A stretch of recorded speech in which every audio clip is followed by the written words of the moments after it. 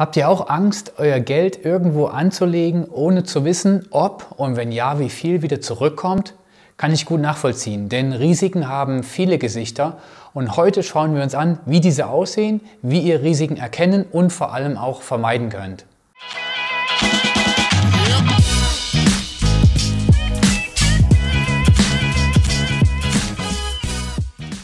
Hi, ich bin Ivan von Evergreen. Bei der Geldanlage gibt es drei wesentliche Risiken, die es zu beachten gilt, damit ihr euer Geld nicht in den Sand setzt. Zwei dieser Gründe haben direkt mit der Geldanlage selbst zu tun. Das dritte Risiko hat gar nicht so sehr damit zu tun, wie ihr das Geld anlegt, sondern bei wem. Fangen wir mit den ersten beiden Risiken an und starten mit dem sogenannten Ausfallrisiko.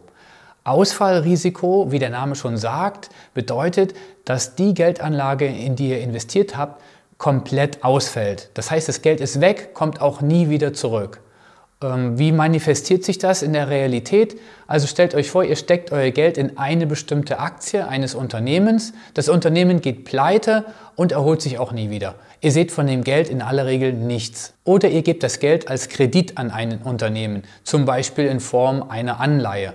Wenn das Unternehmen dann pleite geht, ist das Geld in aller Regel auch weg.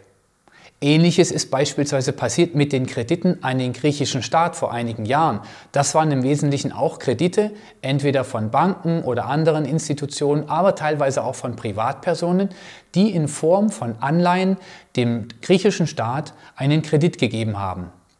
Wenn der griechische Staat dann pleite geht, dann ist das Geld auch weg. Die gute Nachricht beim sogenannten Ausfallrisiko ist, ihr könnt es im Prinzip komplett umgehen, indem ihr einfach nicht nur auf eine einzige Aktie oder eine Anlageform setzt, sondern das Geld breit streut.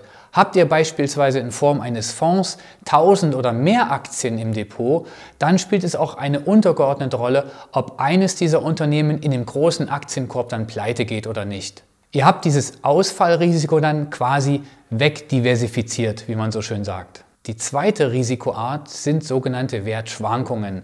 Das bedeutet nichts anderes, als dass die Preise zum Beispiel eines Investmentfonds oder eines Aktienindex immer wieder schwanken. Die Preise gehen mal rauf und mal runter und das Risiko besteht hierbei, dass ihr zu einem ungünstigsten Zeitpunkt kauft oder verkauft. Man spricht vom sogenannten Timing-Risiko. Deswegen soll man bei Kapitalanlagen wie beispielsweise Aktienfonds möglichst viel Zeit mitbringen.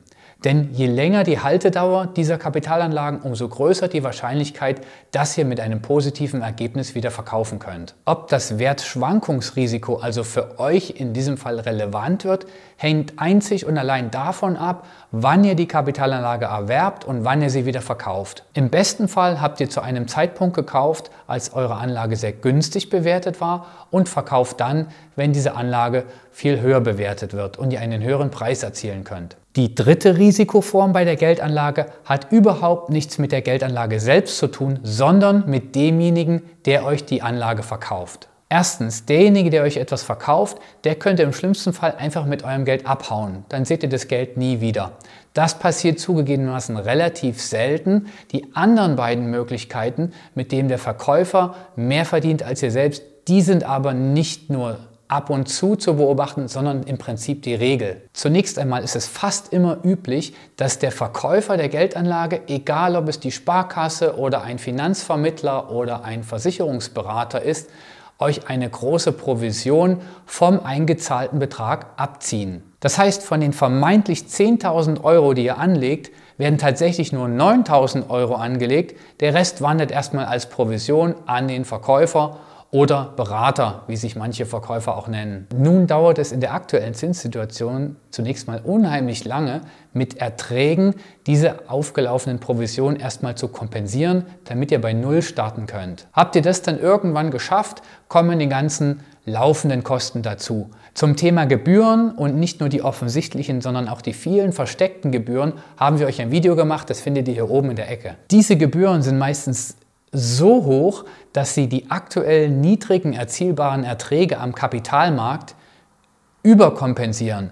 Das bedeutet eine systematische Geldvernichtung mit Ansage. Ihr seht, häufig ist es wichtig, den Verkäufer oder Berater zu hinterfragen, als die eigentliche Geldanlage. Das Thema Geldanlage ist ein Minenfeld mit vielen Risiken und Fehlern, die es zu vermeiden gilt Deshalb abonniert unseren Kanal, um informiert zu bleiben.